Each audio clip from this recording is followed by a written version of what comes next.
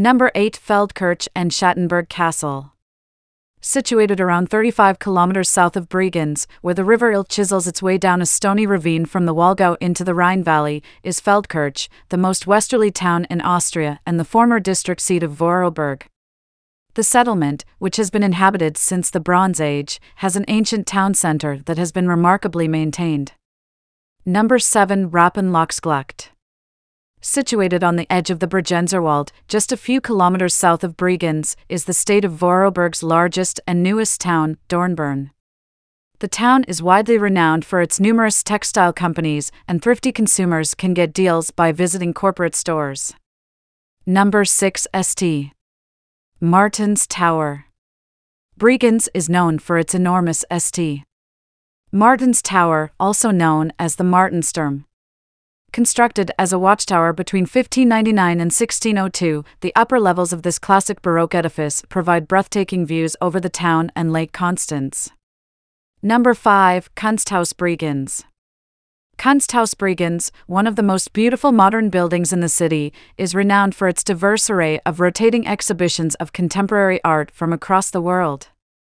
It is essentially a steel skeleton with a covering of glass sheets around but not touching it. Since its opening in 1997, it has quickly grown to rank among the town's most significant cultural draws. Number 4 Vorarlberg Museum. The Vorarlberg Museum is located in Bregenz's lower town on the northern side of the Kornmarktplatz. One of the best sites to see in Bregenz, it was established in 1857 with the goal of protecting the state's rich cultural legacy. A substantial collection of Roman artifacts from the 1st through 4th century is also present. Number 3 Pfander and Pfanderbahn.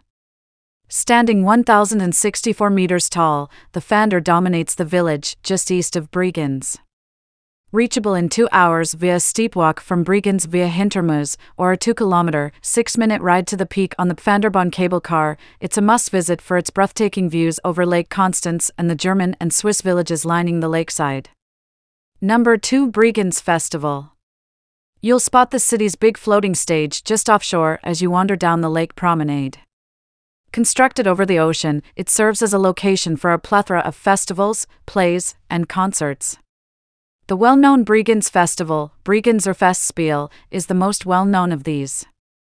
Number 1 Bregenz Lake Promenade situated on the gorgeous Lake Constance, which is the third biggest lake in Europe, Bregenz serves as an ideal starting point for discovering some of the most stunning regions of Austria. With breathtaking views of the lake, the town is situated on a plateau at the foot of the Pfander Mountain.